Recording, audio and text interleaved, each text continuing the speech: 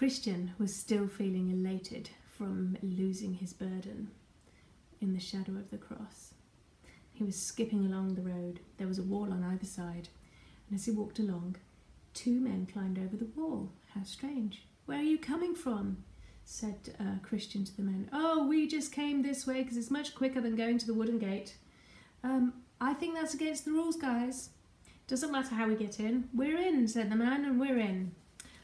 The three continued together until they reached a crossroads. One wide road went left, another wide road went right, but the narrow road straight on, up the great black hill of difficulty.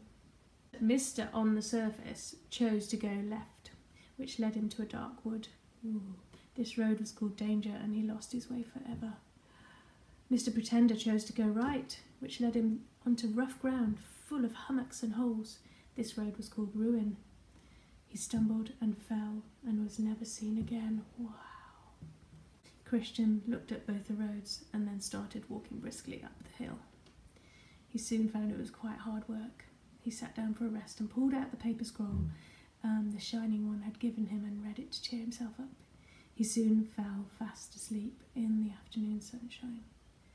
When he woke up, it was evening. He hurried on. He needed to get over the hill before it was too late. He ran to the top and then realised the scroll wasn't with him. He had to run all the way back down the hill and pick it up. How annoying. He felt like a fool. Christian picked up the scroll, carried on walking back up the hill. He could see in the distance the palace, the beautiful palace. Perhaps they might let me stay there for the night, he said. Yeah, we're hoping so.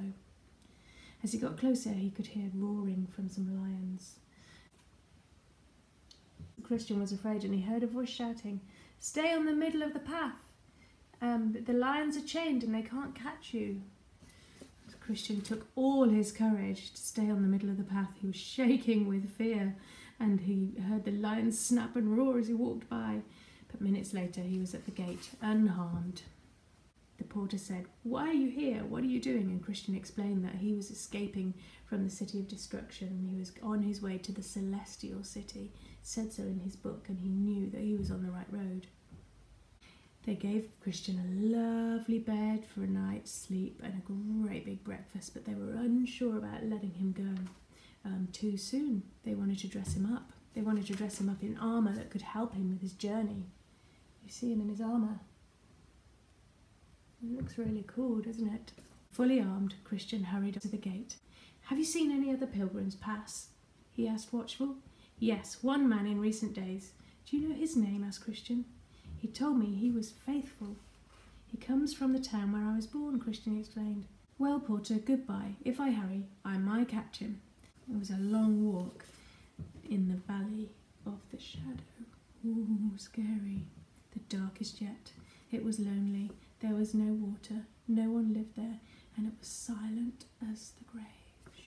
Christian went forward, sword in hand, feeling his way step by step the path was very narrow. To the right it was deep, and to the left it was marshes. Then he thought he heard a man's voice saying, Although I walk the valley of the shadow of death, I will fear no evil. You are with me. Immediately Christian took courage because others who loved God were with him in the valley. He hoped to catch up and join them. Then Christian saw a man running for his life on the path ahead. It was Faithful. Hi, he shouted, wait till I catch up. Finally, Christian caught up with Faithful.